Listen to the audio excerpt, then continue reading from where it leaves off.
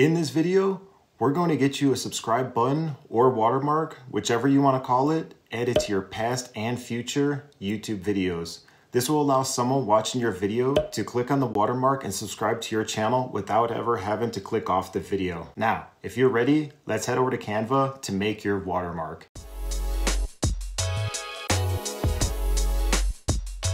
All right, so now we're in canva.com and what you're gonna wanna do is in the top right corner, go to create a design.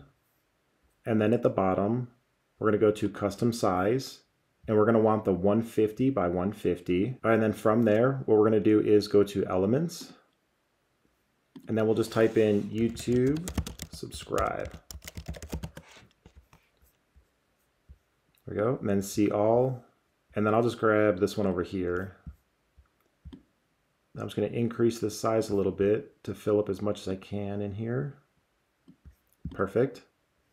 Then once we got that, we're going to go to share in the top right corner and then download, then download.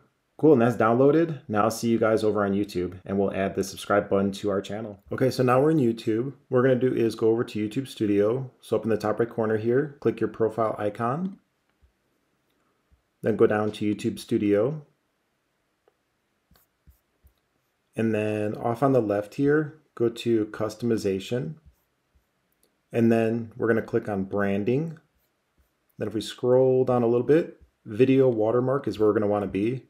So I currently have one on here now for the entire video. So let me just remove this real quick. Perfect. And then I'll go to my channel. I'm just going to show you guys without it. In this video, I'm going to show you guys exactly step by step. I'll go down to a different video are great ways. Okay, so as you guys can see, off on the bottom right corner, there's no watermark over here. From one video to the next. Now, one of the best. So, okay, so we'll go back to YouTube Studio.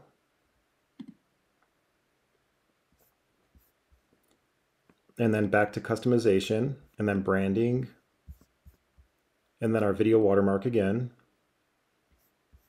And then this is the one we just made. Perfect. Move myself out of the way. We're gonna hit done. And then here you have some options. If you want it for just the end of the video, if you want a custom start time. So here we can start it at five seconds, 15 seconds, whatever, however you guys want to do it. But I like to run it the entire video and that's it. And then we'll just hit publish. Perfect. All right, so now we'll just grab a video over here. There's a view on YouTube. In this video. Then if I move myself out of the way, now you can see there's a subscribe watermark right there.